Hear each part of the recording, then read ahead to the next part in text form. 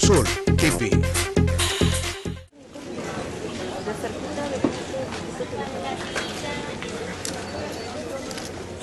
Y los mexicanos tenemos una de las historias más fecundas, complejas, profundas, luminosas que hay en el mundo. Nuestra patria es una suma de razas, de culturas, que no tiene muchos precedentes. No solo somos depositarios del legado de las grandes civilizaciones indígenas precolombinas, sino también de una rica matriz hispánica de valores morales, éticos, estéticos, religiosos. Provenimos además de momentos de ruptura, como la independencia, la reforma y la revolución.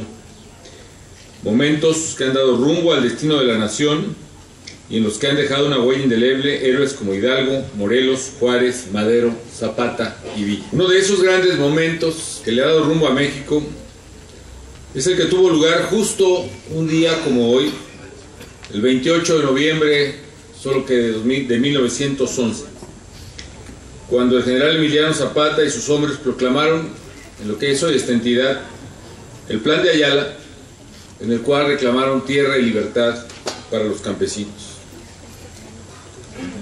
Muchos de estos próceres y episodios de esas luchas y hazañas, estos bienes culturales, espirituales y materiales, constituyen un patrimonio y un patrimonio afortunadamente vivo de esta histórica y hermosa ciudad de Cuautla.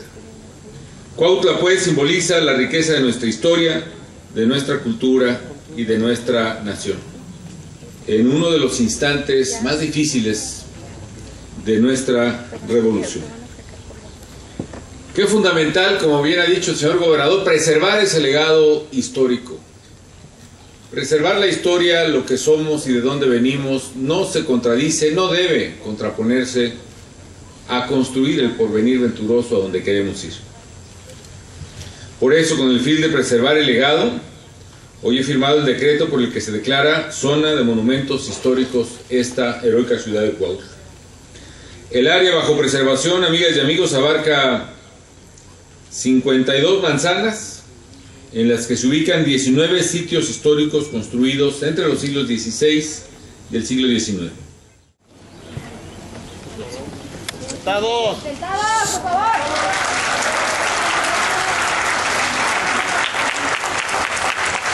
Sentados. Siéntese.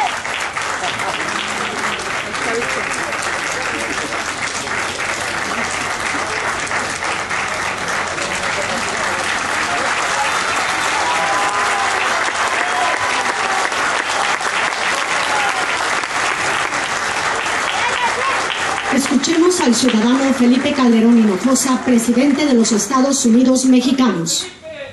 Gracias.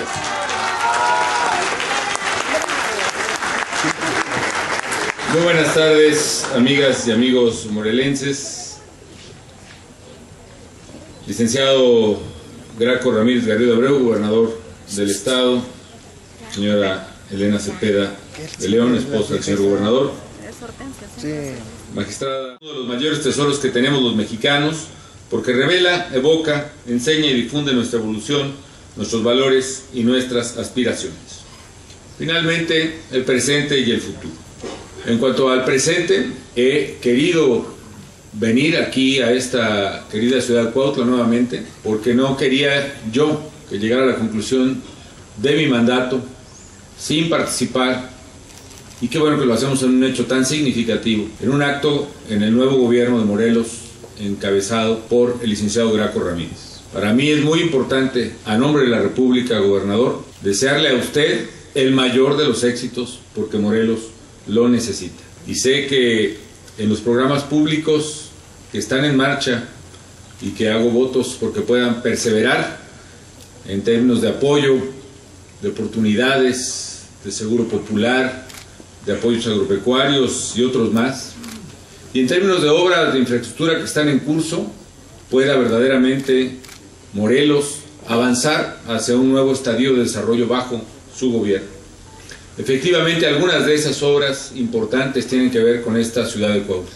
Una es precisamente la ampliación y recuperación de la carretera llamada La Pera Cuautla, y celebro el tino de haber llevado a plebiscito la decisión precisamente para discutir un tema de suyo polémico y controversial.